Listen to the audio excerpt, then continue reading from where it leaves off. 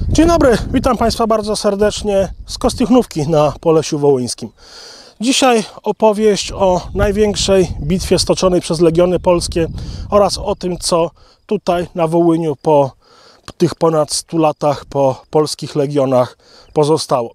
Zapraszam Państwa na krótki spacer po okolicach dawnego tego pierwszego Legionowa, po legendarnych miejscach takich jak Polska Góra, Polski Lasek, czy też słynna Reduta Piłsudskiego.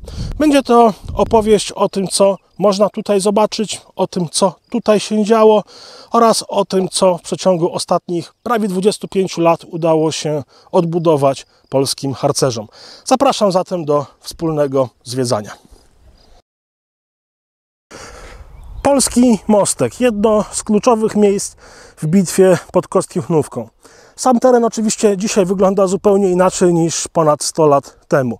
W latach 1915-1916 znajdowała się tutaj jedyna sucha droga oraz niewielki mostek nad strumieniem.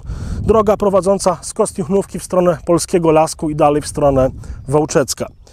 Po bokach rozciągały się liczne bagna oraz bardzo trudne do przejścia podmokłe łąki. Teren zmienił się diametralnie w latach 60., kiedy przeprowadzono tutaj głęboką meliorację. Prawie wszystkie bagna zostały osuszone. Ostateczne zmiany ukształtowania terenu miały miejsce dosłownie kilka lat temu, kiedy starą, wysłużoną grawiejkę zastąpiono tym ładnym i jak widać dość chętnie wykorzystywanym asfaltem. Przejdźmy zatem do historii tego miejsca. Otóż właśnie tutaj z okolic Polskiego Mostku w listopadzie 1915 roku ruszyło feralne natarcie na Polską Górę. Polska Góra widoczna jest za mną, mniej więcej za tamtą kępą drzew. Tą odległość około 1,5 km żołnierze Legionów Polskich musieli pokonać pod ogniem rosyjskim. Decyzję o natarciu na silnie bronione przez Rosjan wzgórze cegielniane opodal Kostiuszkówki podjęto wieczorem 4 listopada 1915 roku. Komenda Legionów z generałem Trzaską Durskim na czele, pomimo tego, iż rozpoznanie dostarczyło informacji o bezcelowości ataku ze względu na bardzo silną obronę Rosjan, wydała rozkaz szturmu bezpośredniego, bezpośredniego ataku na te umocnione rosyjskie pozycje. Do przeprowadzenia ataku wyznaczono dwie kompanie z trzeciego pułku piechoty z drugiej brygady Legionów Polskich.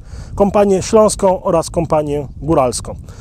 Natarcie zgodnie z rozkazem ruszyło o świcie 5 listopada. Żołnierze zostali podpuszczeni przez Rosjan dosłownie na odległość kilkudziesięciu metrów od ich pozycji. W tym momencie otworzono do nich huraganowy ogień. Efekt był porażający. Od pierwszej salwy od razu poległo prawie 60 legionistów. Kilkudziesięciu kolejnych odniosło ciężkie obrażenia. Cały atak załamał się. Praktycznie do wieczora trwało wybijanie przez Rosjan tych żołnierzy, którzy pozostali na polu i próbowali się jeszcze okopać, gdyż odwrót przez takie otwarte pole był w praktyce niemożliwy, oznaczał pewną śmierć. Niedobitki obu kompanii zeszły z pola walki dopiero pod osłoną nocy. Sama góra, nazwana później na cześć męstwa polskich legionistów Polską Górą, została zdobyta 10 listopada już po podciągnięciu posiłków ze strony niemieckiej oraz niemieckiej artylerii. Odpowiednie przygotowanie artyleryjskie na tyle rozmiękczyło, rozmiękczyło obronę Rosjan, iż góra cegielniana w pobliżu Kostiuchnówki została zajęta praktycznie bez walki. Sam atak na Polską Górę był wyjątkowo bezsensowny. Kosztował życie kilkudziesięciu legionistów oraz grubo ponad setkę ciężko rannych. Poległych w czasie ataku pochowano bezpośrednio na przedpolach Polskiej Góry, jeszcze w czasie, kiedy na tych pozycjach znajdowali się Rosjanie. W trakcie jednego z pogrzebów, pośpiesznych pogrzebów, został nawet ranny kapelan, ksiądz Józef Panaś, który w bardzo odważny i bohaterski sposób chował poległych legionistów. Poległych w czasie ataku na Polską Górę oficerów zabrano z tego terenu i przewieziono na cmentarz do Wołczecka. Historia polskiego mostku miała jednak swoją kontynuację również podczas ofensywy Brusiłowa w lipcu 1916 roku. Tak jak już wspomniałem, było to jedyne miejsce, którym można było w miarę bezpiecznie przeprawić się przez otaczające tutaj tą okolicę bagna i podmokłe łąki. W momencie, kiedy Rosjanie nie byli w stanie przełamać oporu oddziałów legionowych broniących Polskiej Góry, postanowili uderzyć nieco dalej na południe. Tam bronili się węgierscy Honwedzi, którzy stawiali zdecydowanie mniejszy opór. Po przełamaniu ich pozycji oddziały rosyjskie wdarły się od południa wzdłuż właśnie tych podmokłych bagien, zajmując okolice polskiego mostku.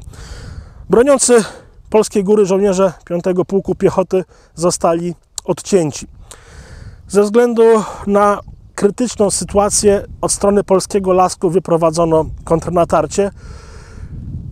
Od drugiej strony, od Polskiej Góry, natomiast na Rosjan niemalże na bagnety uderzyli wycofujący się legioniści z 5 Pułku Piechoty.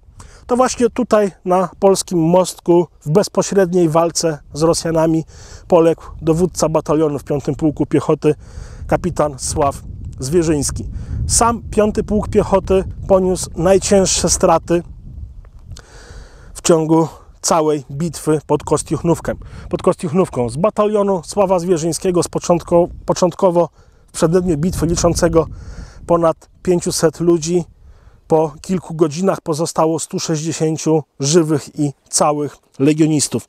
Walki tutaj w okolicach polskiego mostku przybrały charakter bezpośrednich starć na bagnety, bezpośrednich starć na saperki.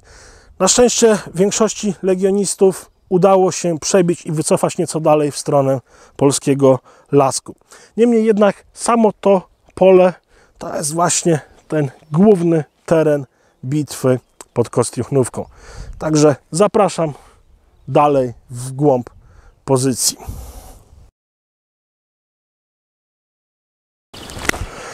Najbardziej monumentalnym upamiętnieniem walk legionów na pobojowisku pod Kostiuchnówką jest widoczny za mną kopiec chwały legionów na Polskiej Górze. U jego stóp znajduje się postawiony tutaj w 1928 roku pomnik poświęcony rycerzom niepodległości.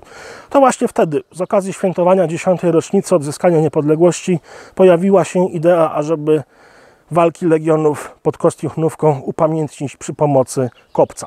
Same prace przy jego sypaniu rozpoczęto jednak dopiero w roku 1933. Całość działań budowlanych finansowało Ministerstwo Spraw Wewnętrznych. Pracowała natomiast przy nich okoliczna ludność, która wozami konnymi nawoziła ziemię.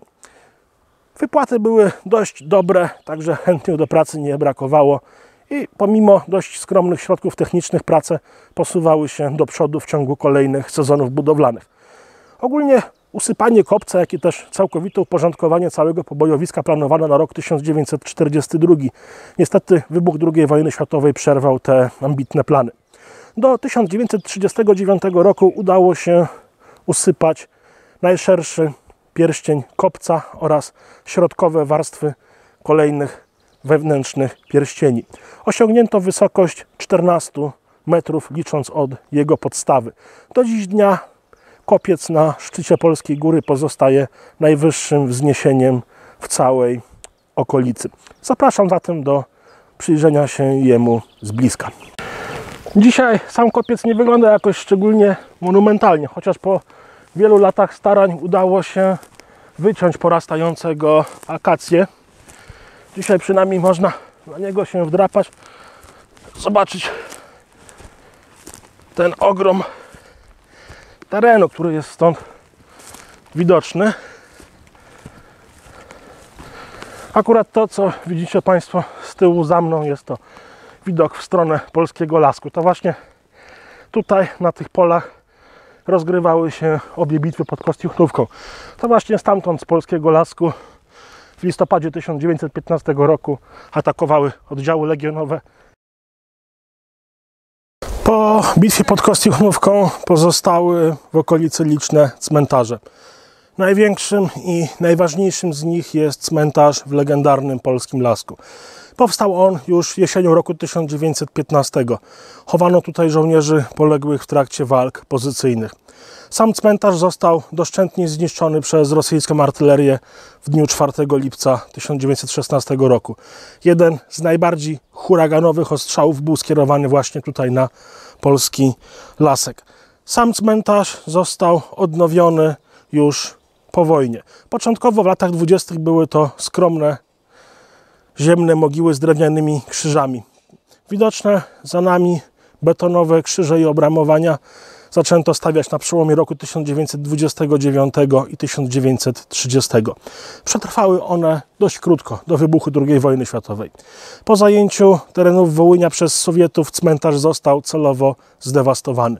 Do lat 90. dotrwały tutaj jedynie resztki połamanych krzyży oraz nieliczne fragmenty grobowych obramowań.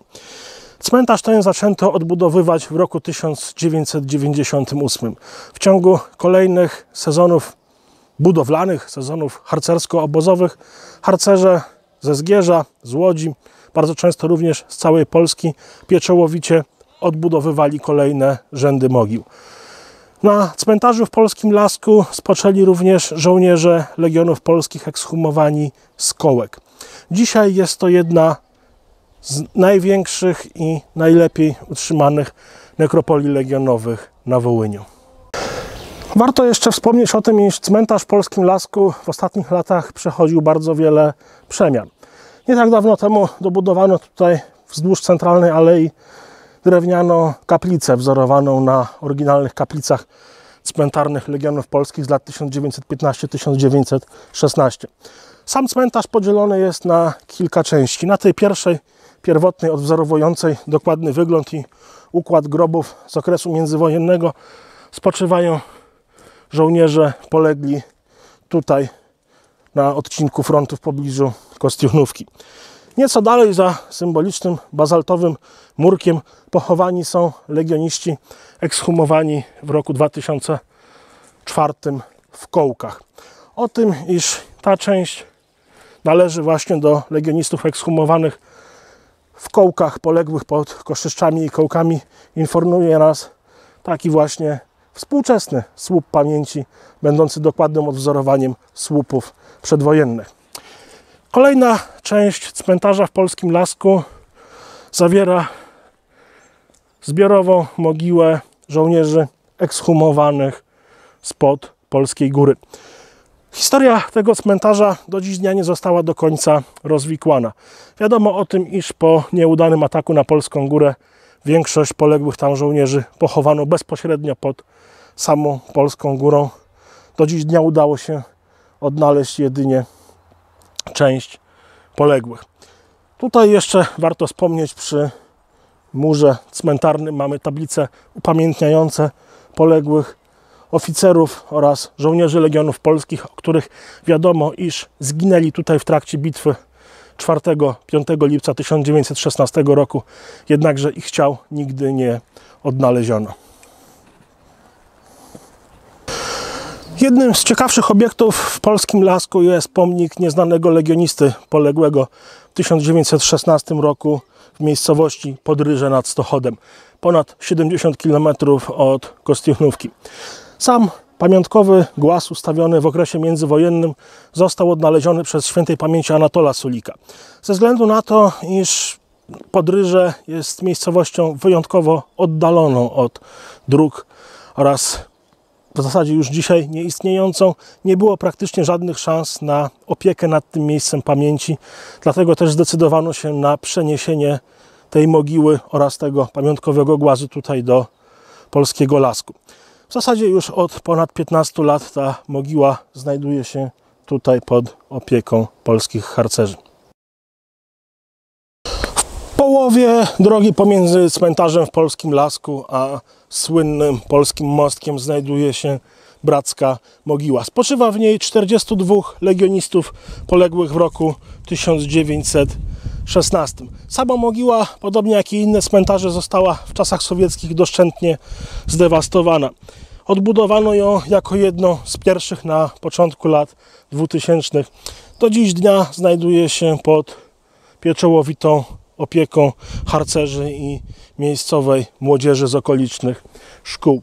Jest to jedno z ciekawszych i częściej odwiedzanych miejsc właśnie ze względu na swoje dość łatwo dostępne położenie. Upamiętnienia legionów przyjmowały różnorakie formy. Oprócz kopców i pomników były to również budynki użyteczności publicznej. Jednym z takich miejsc jest szkoła pomnik czynu legionowego w samym centrum Kostiuchnówki. Budynek szkolny został wybudowany w latach 1935-1936, a jego uroczyste otwarcie miało miejsce dokładnie w 20. rocznicę bitwy pod Kostiuchnówką.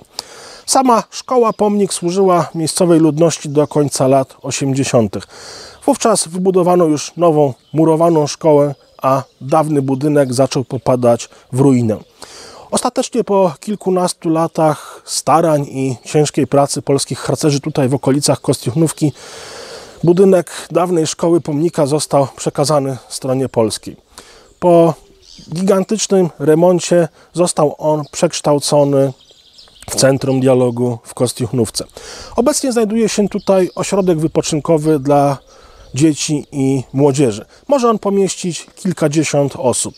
Co roku odbywają się tutaj kolonie oraz obozy harcerskie. Oczywiście same obozy zlokalizowane są w położonym kilka kilometrów stąd polskim lasku. Natomiast sam teren ośrodka służy za zaplecze logistyczne. Mogą tutaj przyjeżdżać również osoby indywidualne.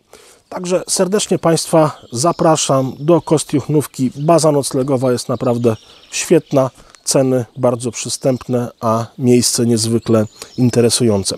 Zapraszam zatem do środka. Jeżeli już uda nam się dotrzeć do Centrum Dialogu w Kostiuchnówce, obowiązkowo musimy odwiedzić znajdującą się na drugim piętrze Izbę Tradycji. Prezentowane są w niej przedmioty wydobyte bezpośrednio z pobojowiska Legionów pod Kostiuchnówką. W przeciwieństwie do wielu innych muzeów zlokalizowanych na dawnych polach bitew, nie jest to jednak typowe muzeum rdzy i odłamków. Praktycznie wszystkie prezentowane tutaj przedmioty zostały poddane gruntownej renowacji. Przykładem może być ten piękny, choć złowrogi rosyjski szrapnel z roku 1915. Zachowały się na nim, na zapalniku, dokładnie jeszcze wszystkie podziałki służące do dokonywania nastaw czasowych tak ażeby eksplozja tego szrapnela następowała dokładnie nad okopami przeciwnika. Jeśli chodzi o zawartość samej ekspozycji, to oprócz typowego pobitewnego złomu zawiera ona również całą masę przedmiotów związanych bezpośrednio z życiem codziennym żołnierzy tutaj w okopach pod Kostiuchnówką. Sama wystawa opowiada również historię prawie już 25 lat pracy polskich harcerzy tutaj na Polesiu Wołyńskim. Pracy polegającej na odbudowaniu i remontowaniu cmentarzy legionowych, zresztą nie tylko legionowych. Sama Izba Pamięci jest wykorzystywana do celów dydaktycznych. Odbywają się tutaj lekcje historyczne, zarówno dla młodzieży polskiej, która przyjeżdża tutaj na wakacje, jak i również też zajęcia dla ukraińskich dzieci z okolicznych szkół. Jeśli chodzi o samą zawartość merytoryczną w kontekście wydobytych przedmiotów, to znajdziemy tutaj bardzo wiele ciekawych i unikalnych eksponatów. Eksponatów tym bardziej cennych, iż posiadających olbrzymią wartość sentymentalną, zwłaszcza dla osób zaangażowanych w upamiętnianie czynu legionowego, tudzież szerzej mówiąc, w upamiętnianie walk o odzyskanie niepodległości. Także ta Izba Pamięci w Kostiuchnówce jest jednym z takich nielicznych mikromuzeów, które każdy powinien odwiedzić. Do czego oczywiście serdecznie Sein